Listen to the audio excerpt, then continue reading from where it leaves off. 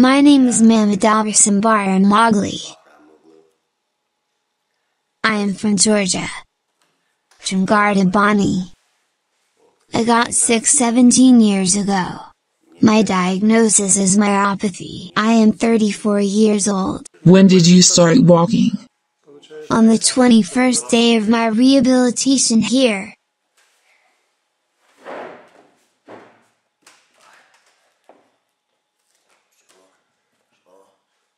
You can stand up on your feet without any help. When did you do it for the first time? I have just tried to do it. Have you tried to do it here for the first time? Yes, I have. You couldn't stand up before, could you? I couldn't. I've done it for the first time.